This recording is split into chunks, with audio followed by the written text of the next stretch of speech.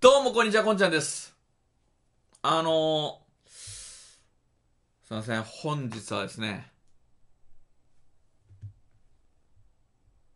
この、梶堀江先生のね、堀江兄の、堀江ありきの、が、うっせぇわの動画が来たんですよ。うっせぇ、うっせぇ、うっせぇわ、てれてれててれてててててってていう、うっせぇわの動画を上げて、で、僕があのー、しのぶえですね。うっせぇわがまあ一番ね、まあそこそこ吹けるまで終われまてみたいな企画をしようと思ったんですよ。えーっと、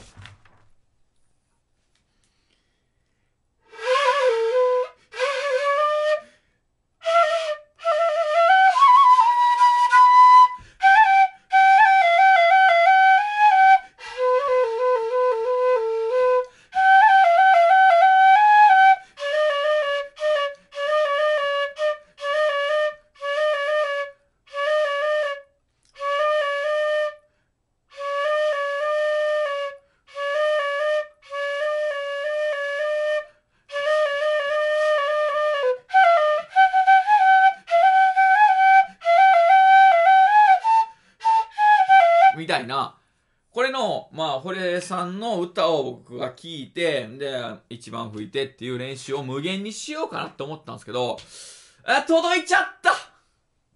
届いちゃった、これ。届いちゃった。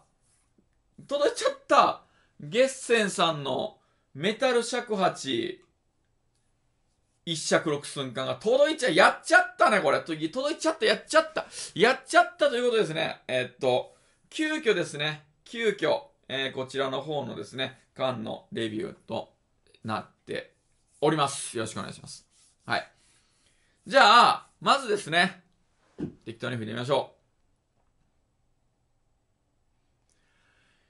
う。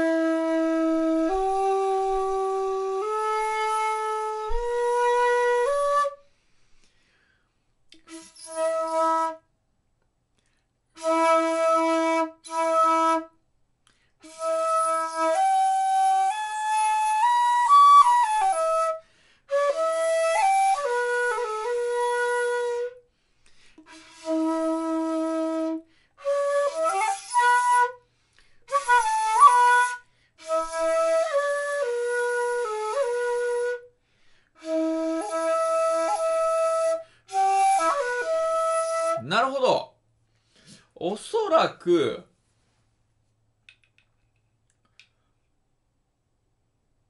歌口がですね、おそらくですよ。私あんま詳しくないんで。深いですね。深い。歌口が深いです。で、顎あたりも、こっちがこうカットされてる顎あたりもこう、カットがされてない形ですね。まあ、あの、6寸間なんで、艦隊自体がちょっと、どうなのかな。多少太いんだけど、歌口は、ちょっとちっちゃめみたいなね、感じです。はい。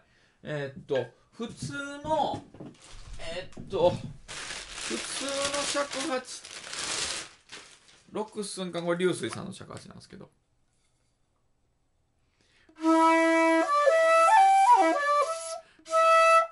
通の尺八と比べると、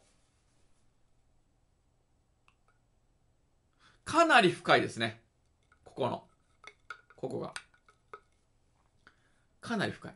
で、深いので、深いので、えーっと、最初、慣れてないと深めの、慣れてないと、その感が、感がちょっと難しい。ただ、深くすると爆音なんですよ。つまり、エッジの効いた爆音スタイルってことですね。爆音スタイル。だから、缶を取るのに最初ちょっと苦労するかもしれないね。僕みたいに。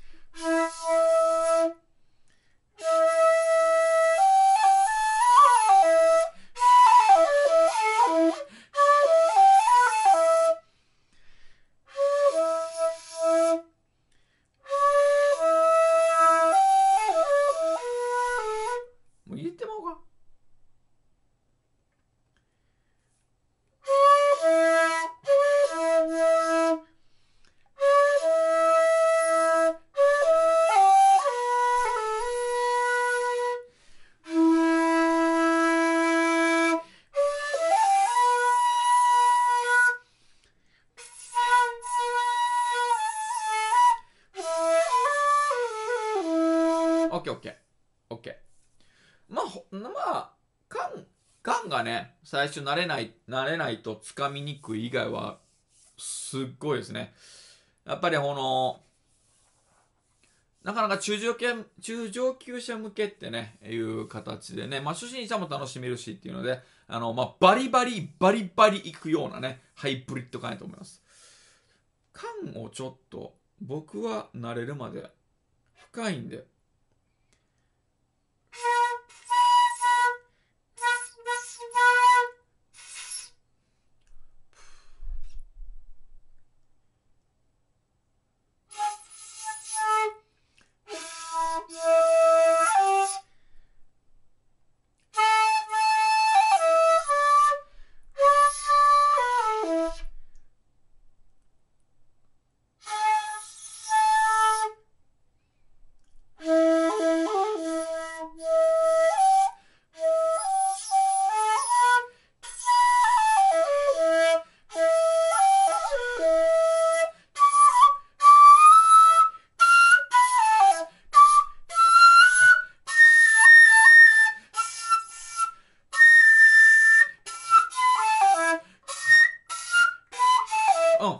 大感もしたさですね。じゃあ、ちょっと、慣れていきましょうね。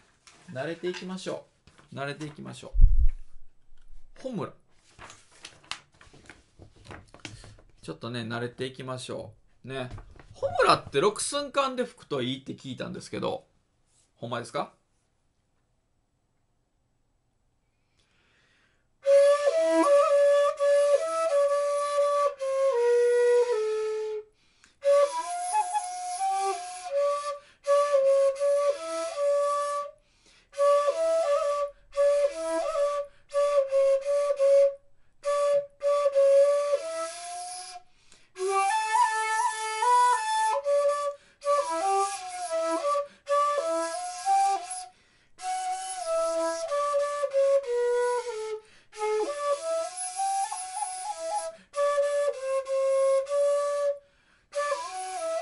どれ、よいしょ。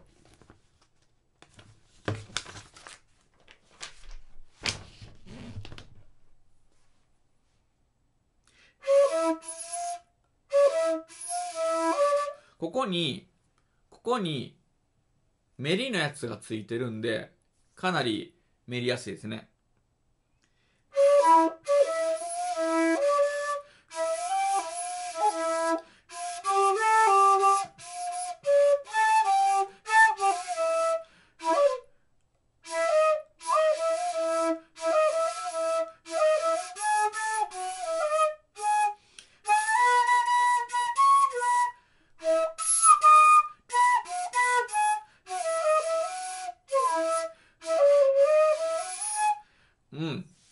っていう感じですね。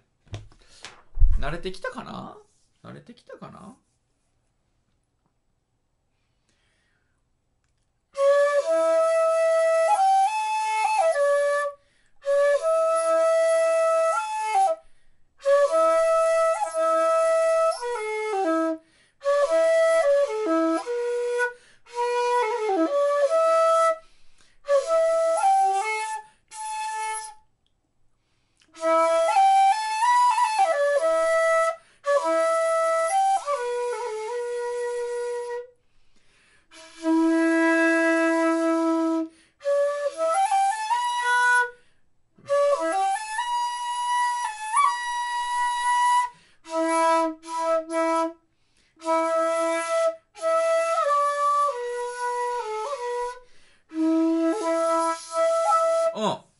れてきました。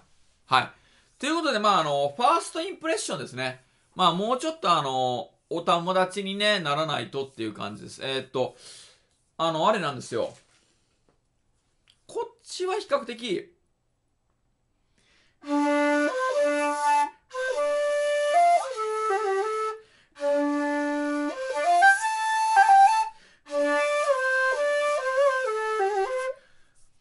比較的簡単にお友達になれたんですけど、この子、お友達になる、ちょっと時間いりますね。あの、ただ、こういうちょっとね、お友達になるのが難しいタイプ結構好きなんですよ。だからあの、多分、パッとこれ買われた人は、まあご自身の持ってる尺八のタイプによって、あの、歌口が深めですね。深め。深めを使われてたら、あの、そのままピット感できるし、歌口が、やっぱりこれ浅い、浅い感。浅い感を使われてると、最初、感が馴染むのに時間かかると思います。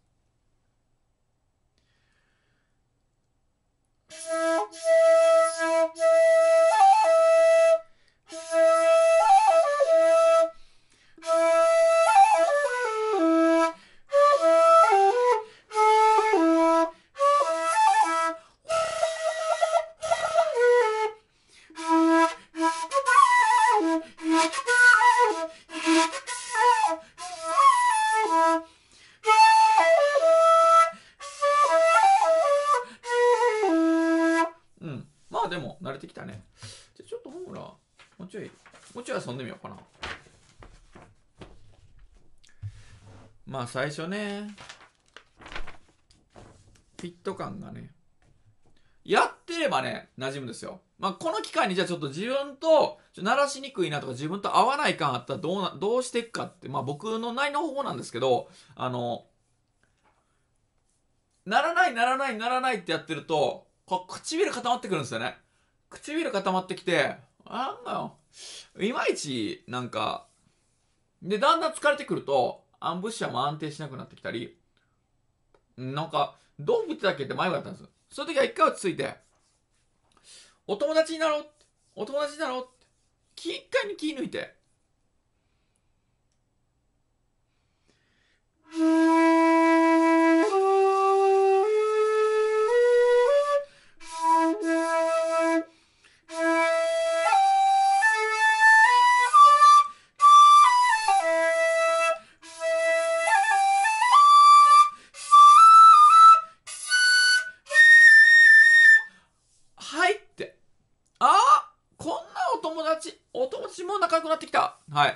ことで仲良くなりましたね。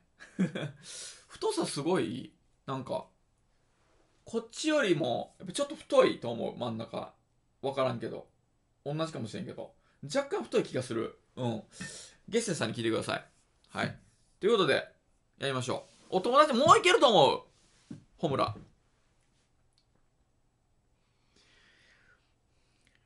あ、ちゃんとしようか。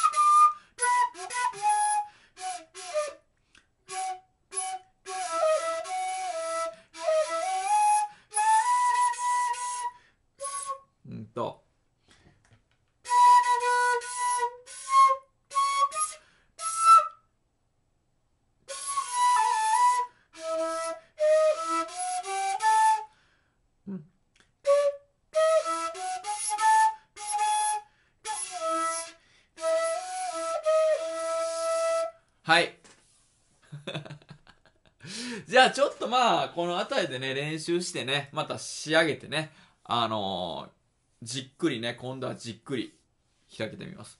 とりあえずファーストインプレッションね。私が、えーっと、感じたファーストインプレッションです。あの、確実にパワーアップしてます。パワーアップします。で、パワーアップしたことによって、えーっと、結構奏者の、まあ、もともね、あの、奏者がどういうタイプ演奏してるかによるんですけど、奏者の技量もやっぱある程度ないと、いけない。逆に言うと、あの、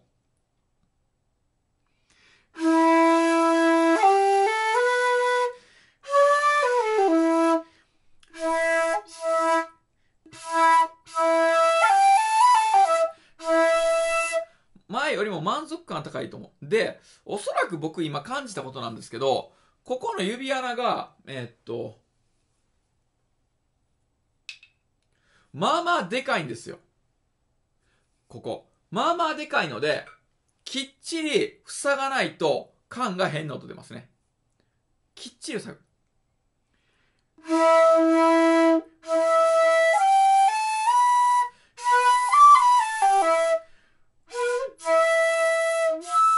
ほうね。ここがちょっと開か開いてると、ほら。ちょっと開いてると。ちょっと開いちゃうんですよ。慣れてないと。このくぼみに。だからここもきっちり、きっちり包み込んでください。そしたらいけると思う。深いのもあるし、ここがちょっと、ほら、見てください。こうするじゃないですか。こうしたら、力入れると、ずれるんですよ。だからもうこれで、安定しない。だから、指の力を抜いて、指の力を抜いてね、ここと、特にこことここ。で、塞ぐ。優しく。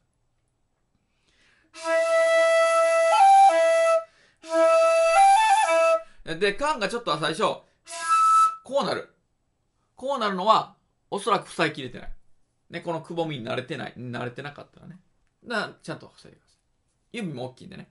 で、指が細い人どうなのって、僕もそんな太くないんですけど、指が、えっ、と、細くて、塞ぎきれないって思う人は、一回ちゃんとやってみてください。で、ちゃんと包み込むような感じ。できじゃあ下から持っていってもいい感じ。下から持っていってもいい。で、一回ちゃんと塞ぐ塞ぐって、指に覚えさせてください。これは、ここまであるんだって。そうすると、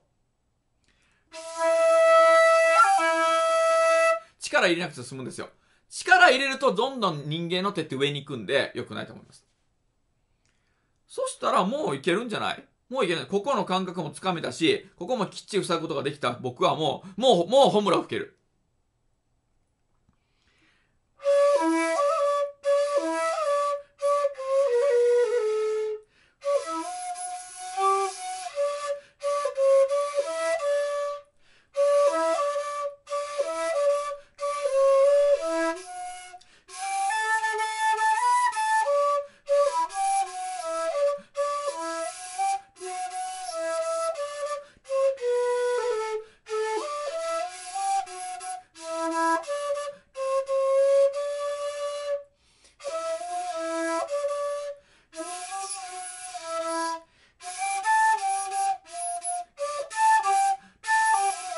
っていう感じです。はい。では、今日はこんな感じでね、レビューしておきたいと思います。ありがとうございました。次回はですね、堀江先生のうっせぇわを、えっ、と、無限にダラダラ撮りたいと思いますね。吹ける前チャレンジやっていきたいと思います。では、ありがとうございました。